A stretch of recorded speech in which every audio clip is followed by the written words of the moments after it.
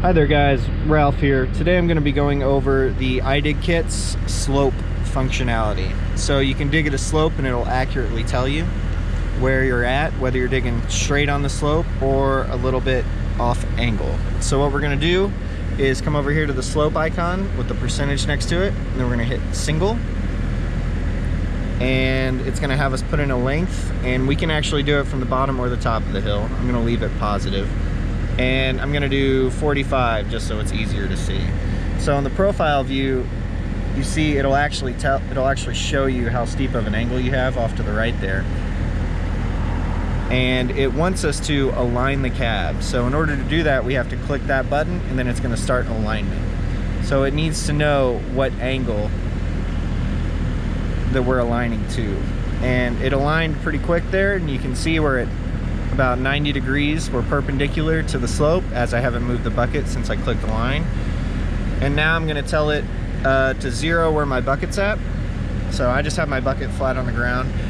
If you wanna dig five feet down, you're laying pipe down there or something, you have your edit here and then you can just go down five. You can manipulate it from there, but I'm just gonna stay ground level just for display purposes. So from here, if I move my bucket towards me, it's expecting that 45 degree angle uphill. And as you can see, I am not going up as fast as I need to be.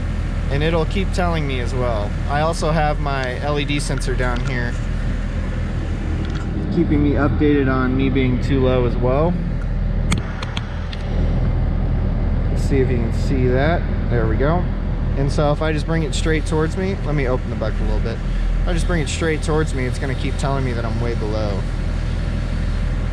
Just because it's such a steep angle. But now that we're getting closer, and then I pull up, you see we're about 45 degrees from the bottom where I called zero. Now, something cool about it is this 2D sensor actually can see off to the sides as well. So I'm gonna push my bucket back out and I'm gonna turn to the side. Now let's say I want to dig at that same exact slope at this angle over here. So I'm going to go down and it's actually going to show me exactly what's going on on my left view here as well. So you see how it's like angled to the side? Now as I bring it up, it should become higher, even steeper, even quicker.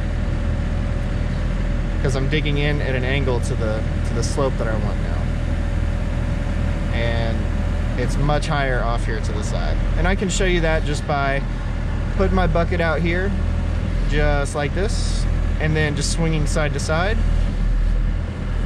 So I have my bucket at about foot and a half up right now. If I just rotate to the right here, it should be getting closer and closer to grade even though I'm not lowering the bucket. And that's just because it's reading an infinite slope off to that side. So it'll actually update you on what you're looking for there.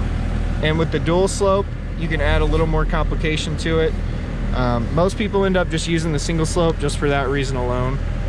And I'll probably have another video on that dual slope if, uh, if I get any requests for it. But other than that, that's all I had to show you guys today. Thanks for watching.